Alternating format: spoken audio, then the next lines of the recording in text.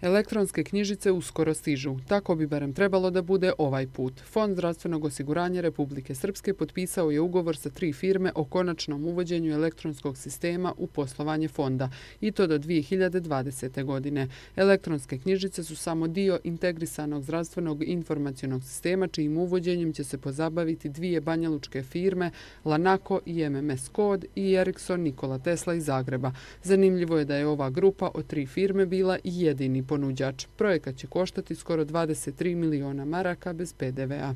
Kada se tome doda PDV, dolazimo do cijene 26 miliona 887 hiljada konvertibilnih maraka.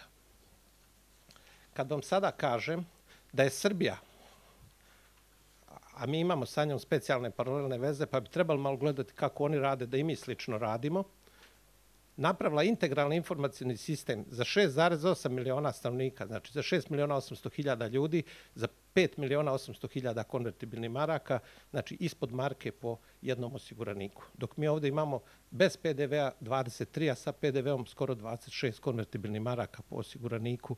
Cijelokupna priča oko uvođenja elektronskog sistema poslovanja bila i pod lupom MUPA Srpske, ali od istrage nije bilo ništa. Stanić pita zašto je sklapanje ugovora sa ovim firmama bilo pod velom tajne. Mi sad imamo elektronski recept, elektronske uputnice i elektronske kartone. Ja, a ovde se to ponovno kupuje. Ja sam to i rekao. Znači, nije razjašnjeno. Do dvi, vi sjećate jedne konferencije za novinare 2012. kad rečeno počinjuje recept i počinje ovo, počinje ono. Šta je s tim? Iz Fonda zdravstvenog osiguranja se ne osvrću na Stanićeve riječi. Poručuju da je potpisan okvirni sporazum sa grupacijom od tri firme, a da će se uloženi novac isplatiti u vrlo kratkom roku. Inače, IZIS će se realizovati u nekoliko faza, među kojima su izrada glavnog projekta, formiranje primarnog i sekundarnog data centra za razmjenu zdravstvenih podataka na nivou Republike Srpske, isporuku i instalaciju opreme vodećih svjetskih proizvođača, štampu i distribuciju kartica osiguranika i zdravstvenih radnika, opremanje zdravstvenih ustanova računarima i drugom potrebnom opremom i tako dalje.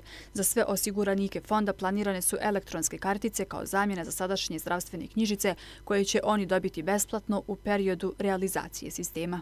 Zanimljivo je da će od uvođenja elektronskog sistema u zdravstvu u Srpskoj koristi imati i Hrvatska, tvrdi bivši ministar zdravlja. I to zbog Eriksona, koji je vlasnik koda i koji je dogovorio sa Hrvatskim zavodom za osiguranje da će im dati 10% ukoliko nekome drugom prodaju posao, tvrdi Slobodan Stanić.